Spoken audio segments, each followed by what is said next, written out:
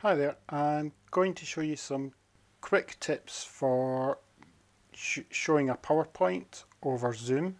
If you've got a bunch of participants, it might be students part of a class or a, um, you know, possible applicants or an open evening or any kind of activity. But anything you want to show a PowerPoint over a class that has embedded video in it and you want the participants to be able to see and hear the video as well. Um, so I'm just going to go through a few options and tips. The first one will be close your email program so that you don't get interrupted with notifications. So I'm going to close my window and that's Outlook gone. And you might also need to make sure that your notifications are disabled as well, just so that the session isn't interrupted with beeps and other noises from your system. Um, now, by default, I've already modified this, but by default, when you are showing PowerPoint, it does this. It will take over your whole window and suddenly you can't see Zoom and you're struggling to get forward and back between PowerPoint and Zoom to, to manage what's going on. So the first thing is that you can really go to the slideshow options and set up the slideshow and change it so it's going to be shown in a window instead of taking over the whole screen click OK there and now when I go to show the presentation it stays in its window so that's a good start so I've still got Zoom and I can still do the different participant management things or have the Zoom chat window open or other things that are going to be useful to help manage the Zoom session as well. Now to share the presentation all I need to do is go to share screen.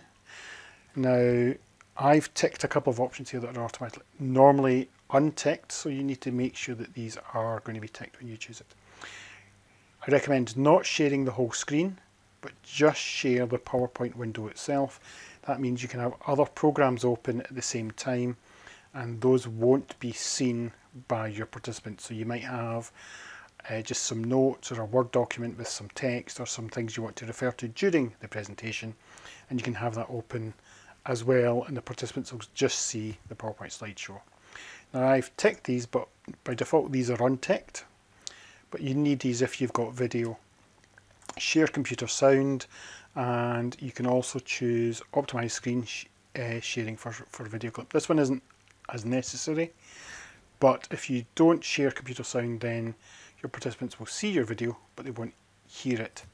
So if I can tick those options, click share and the zoom window's kind of rearranged itself and um, but we can still bring up um, our chat and participant management screens and the other screens as well that we want. So more and there's the, chat. So we could have the chat window open as well at the side alongside the PowerPoint and then the participants can type in messages and you know put you know put their questions to you in the chat while you're going through the present the the presentation. And I can do the presentation as normal with PowerPoint and I can have it play video for example. Now it would be worthwhile let me just pause this a second checking that your participants can hear this.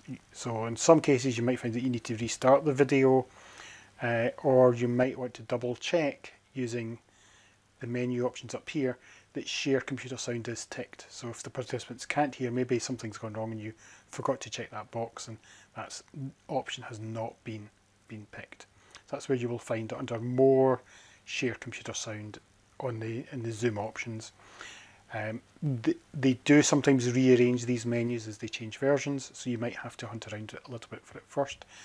And you can also do what I'm doing here, which is test it out without any participants before you actually have to give the presentation to participants. So when you've got all these settings set up, the next time you go into the presentation and share your screen, it should have the same settings, which will be useful because then you don't need to faff around finding them again. Uh, so a couple of little tips there. Hopefully that's useful for some people struggling trying to figure out how on a small screen how they can do a PowerPoint and manage Zoom at the same time. Uh, and and for the video for your students to or participants to hear it as well. That's all. Simple as that.